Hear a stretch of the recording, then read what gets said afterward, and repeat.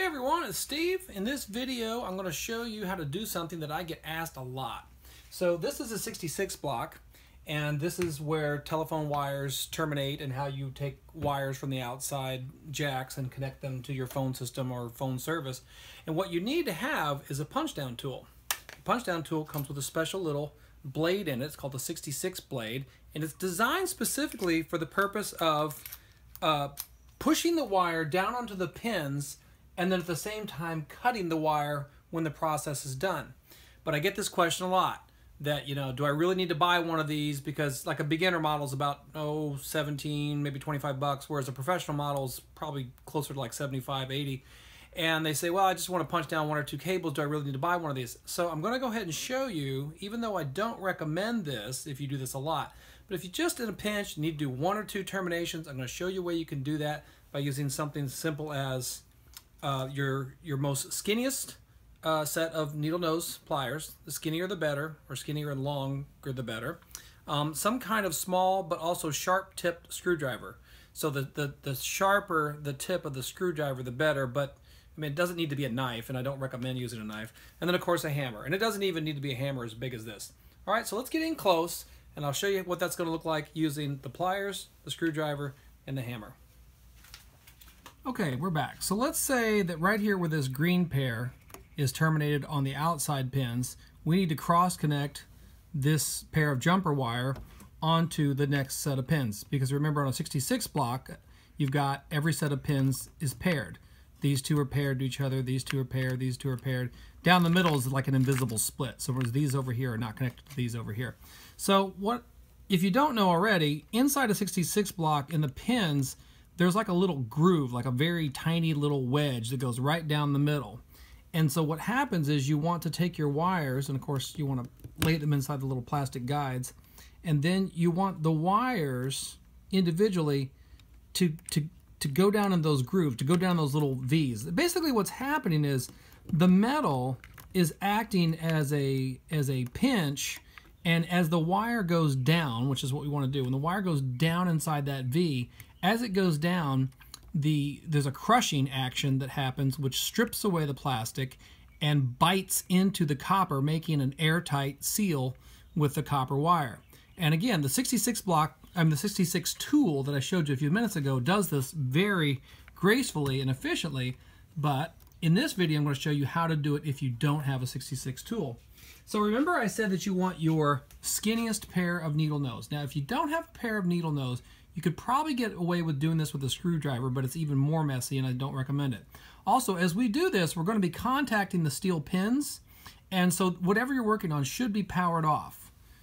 So I'm going to take my screwdriver, I'm going to take my, my pliers, and I'm going to gently push that wire down the V, all the way to the bottom. So now that wire, which I initially had put up here at the top of the V, I pushed into the into the pin. I pushed it all the way down the middle, all the way to the back. And then for good measure, take your pliers and just kind of give it a little pinch because that brings the, the, the, the two sides of the pin back together again. All right, I'm going to do it one more time for the other pair. I mean, for the other wire. Pushing it all the way back to the bottom.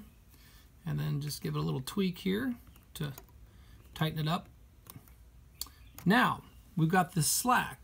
Now you may be tempted to say, well, I'll just use some scissors and just cut off that slack. That's not a good idea. And the reason why is because you're not going to be able to get close enough with a pair of scissors uh, to trim it off in such a way that it's not going to be a dangling tail. And what you don't want is a piece of dangling copper there that could contact the pins below it because that'll short out your, your circuit.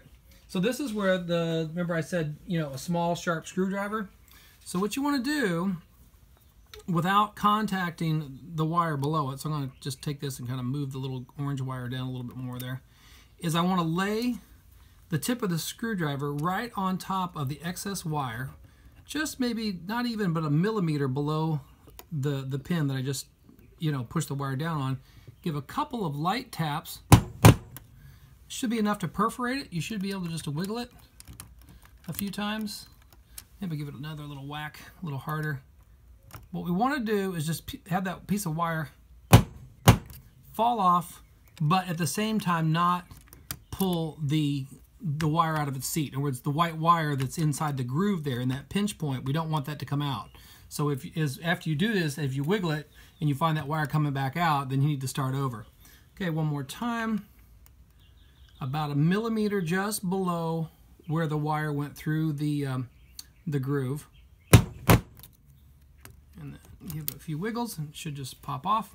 I'm going to try to move you in real close so you can get a good look at that. And, and I apologize in advance because I don't know how close the focal point of my iPhone can get you. Um, I have found the iPhone works a lot better at, at getting in close to things than the um, than my Samsung Android does. Anyway, so there you can, if you look, whoops, sorry about the shake there. Uh, let's see, those two pins right there, those are the ones I just did. And if you'll notice, let me move you down a little bit.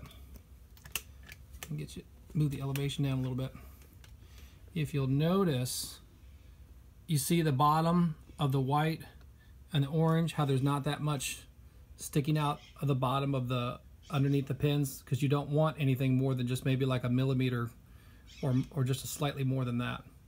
All right, so that is how you can terminate wires on a 66 block if you don't have the appropriate tool. Again, because you're probably going to be contacting metal when you do this, and the nice thing is, is the 66 blocks let you do this while the stuff is turned on, but because you're going to be using something like a screwdriver and a pair of pliers, you need to have this stuff powered off, otherwise it's going to short out.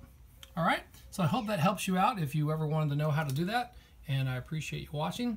If you like what you saw, give me a thumbs up. If you don't, give me a thumbs down, and then uh, tell me why you don't like it. Thanks so much for watching.